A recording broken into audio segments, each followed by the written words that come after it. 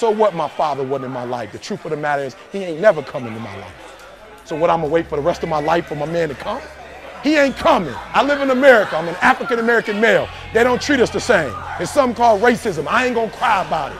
It's probably gonna be racism to the day I die, but I'm not gonna cry about it. I'm still gonna be a millionaire. No, I didn't grow up on that side of the town. No, my mama don't have no network. No, I don't know a whole lot of people.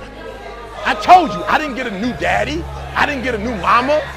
What changed? I changed. And I stopped being a victim. I stopped saying I've got to wait for good things to happen to me. And I said I'm going to grind.